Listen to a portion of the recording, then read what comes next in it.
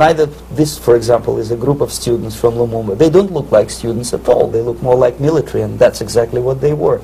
They were dispatched back to their countries to be leaders of the so-called national liberation movements, or to be translated into normal human language, leaders of uh, international terrorist groups.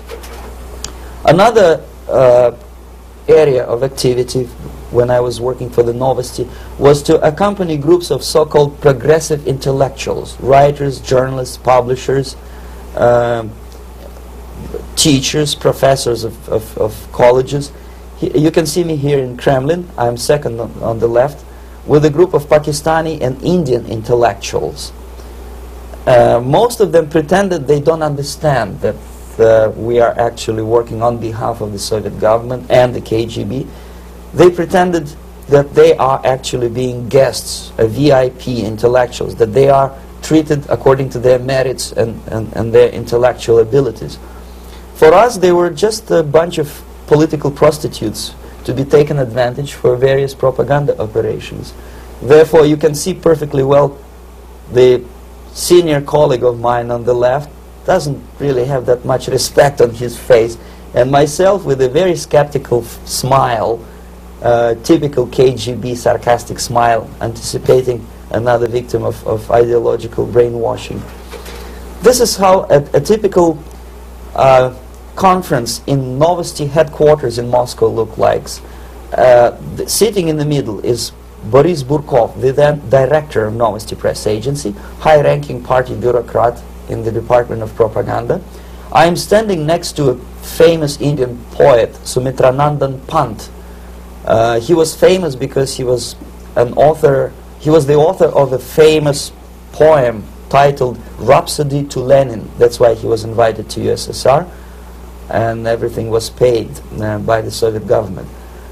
Uh, pay special attention to number of bottles on the table. This is one of the ways to kill the awareness or curiosity of, of foreign journalists. My, one of my functions was to keep foreign guests permanently intoxicated the moment they land at Moscow airport. I had to take them to the VIP lounge and toast to friendship and understanding between the nations of the world, glass of vodka, then a second glass of vodka, and in no time my guests would be feeling very happy. They would see everything in kind of pink, nice color, and uh, that's the way I, I had to keep them permanently for the next 15 or, or 20 days. At certain point in time, I had to withdraw alcohol from them so that some of them who are the most recruitable would feel a little bit shaky. This is the first stage of befriending a professor. You can see myself on the left with the same James Bond smile. On, my, on the right is my KGB supervisor, Comrade Leonid Mitrokhin, and in the middle a professor of political science in Delhi University. The next stage would be to invite him to a gathering of Indo-Soviet Friendship Society. There he is sitting next to his wife before he is being sent to USSR for free trip. Everything is paid by the Soviet government. He was made to believe that he is invited to USSR because he is a talented, sober-thinking intellectual absolutely false. He is invited because he is a useful idiot, because he would agree and subscribe to most of the Soviet propaganda cliché. And when he is coming back to, to his own country, he is going for years and years to teach the beauties of Soviet socialism to uh, newer and newer generations of his students, thus promoting the Soviet propaganda line. It was the part of the building of USSR embassy, and my supervisors on the left is Comrade Mehdi, an Indian communist, and on the right, Comrade Mitrokhin, my supervisors in the secret department of research and counter-propaganda. It has nothing to do with either research or counter-propaganda. Most of the activity of that department was to compile huge amount, volume of information on individuals who were instrumental in creating public opinion.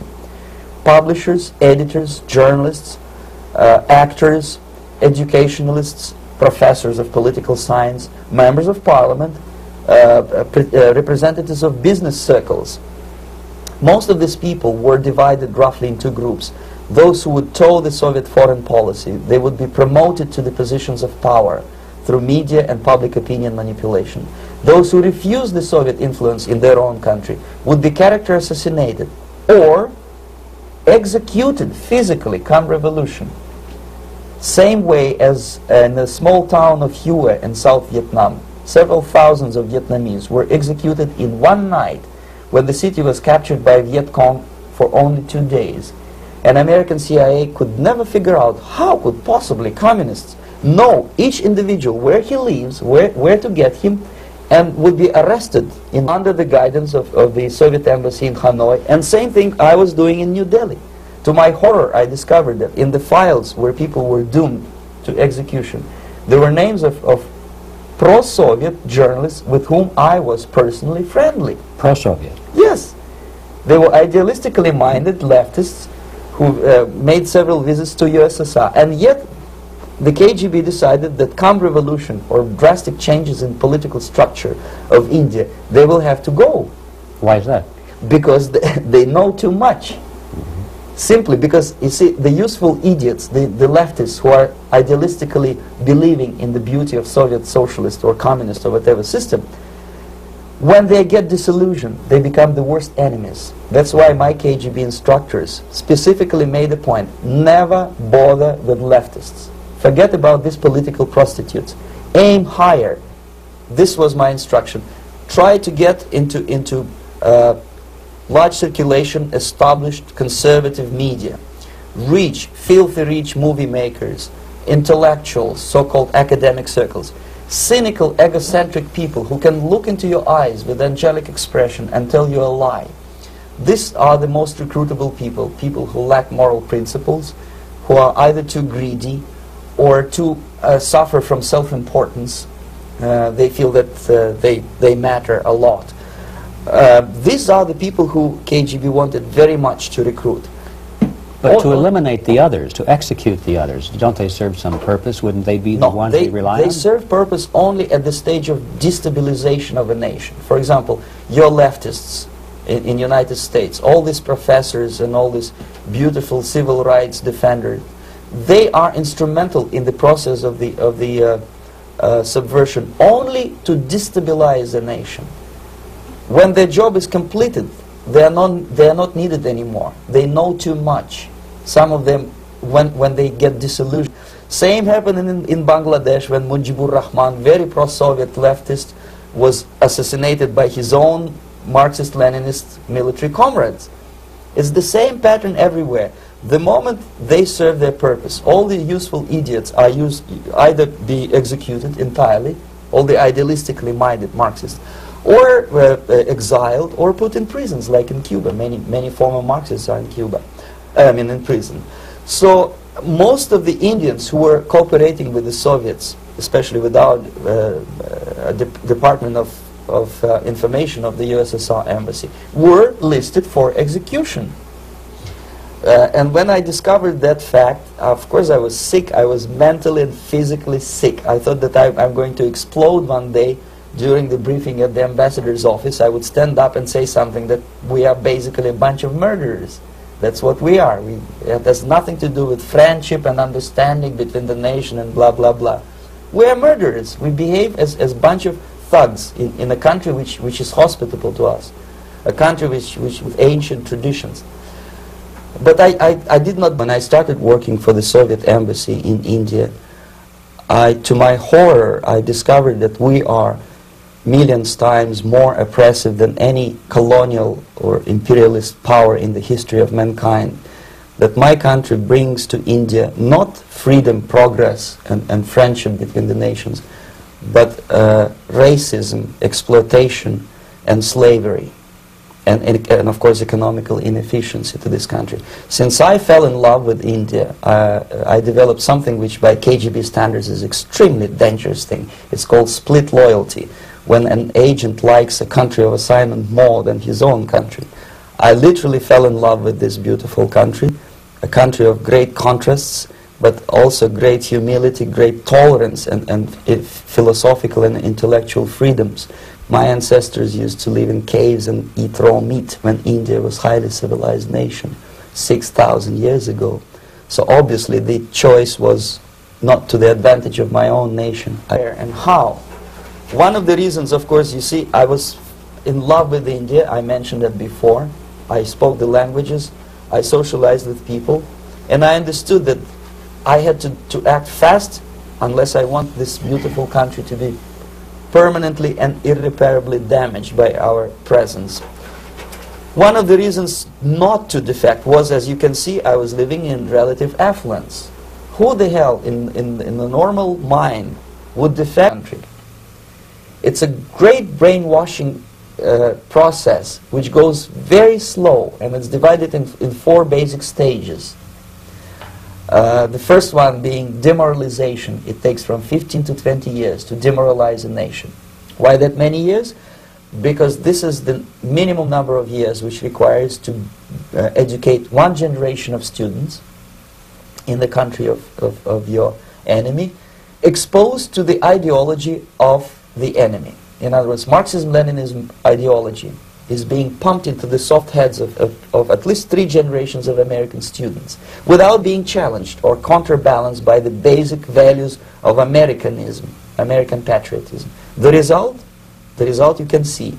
Most of the people who graduated in the 60s, dropouts or half-baked intellectuals, are now occupying the positions of power in the government, civil service, business, mass media, educational system.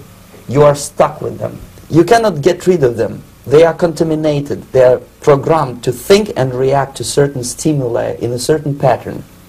You cannot change their mind, even if you, if you expose them to authentic information, even if you prove that white is white and black is, uh, is black, you still cannot change the basic perception and the logic of behavior.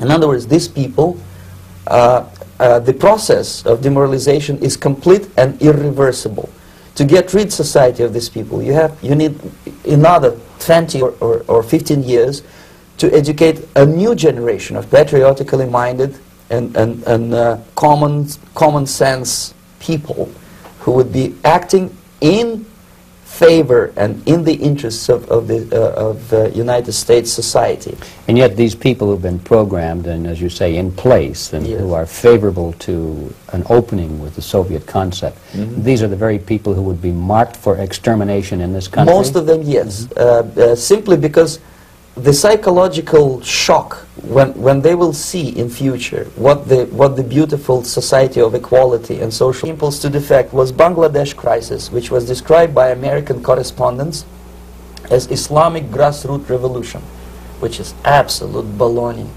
Uh, there was nothing to do with Islam and there was no grassroots revolution. Actually, there are no grassroots revolutions, period. Any revolution is a byproduct of a highly organized group uh, of conscientious and professional um, uh, organizers, but has nothing to do with grassroots.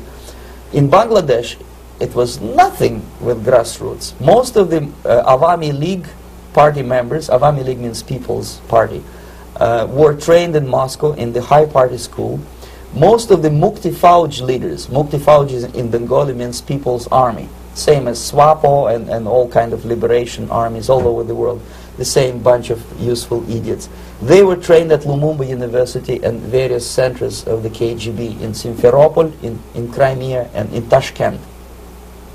So when I saw that India, Indian territory is being used as a, as a jumping board to destroy East Pakistan, I saw myself, thousands of, of so-called students traveling through India to East Pakistan, through the territory of India, and Indian government pretended not to see what was going on. They knew perfectly well, the Indian police knew it, the intelligence department of Indian government knew it, the KGB of course knew it, and the CIA knew it. That, that was most infuriating because when I defected and I explained to the CIA debriefers they should watch out because East Pakistan is going to erupt any moment. This effort to educate people in, in, in the spirit of real patriotism, number one. Number two, to, to explain them the real danger of socialist, communist, whatever, welfare state, big brother government. If people will fail to grasp the impending danger of that development,